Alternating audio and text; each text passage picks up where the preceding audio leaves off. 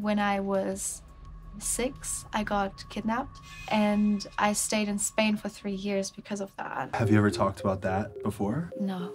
I haven't talked about well I, I've talked about it in therapy. yeah, yeah, yeah. If the words have come out of your mouth before, yeah. but not No, not, not in front of a camera. Not in front of a camera. It was from year six to nine. We were vacationing in Spain. It was by my mom's ex-husband. My mom didn't know where we were for the first year and a half. Has she told you what she what her reaction was immediately? She had to obviously go back to Germany without knowing where her children were. So she was completely lost. So she tried to look for us. The way she got us back was she had a new boyfriend and he woke us up with her. She was there, but he woke us up in the middle of the night, took us into the car, into the airport, into the airplane, and flew us to Austria, which is where we then stayed for a little bit.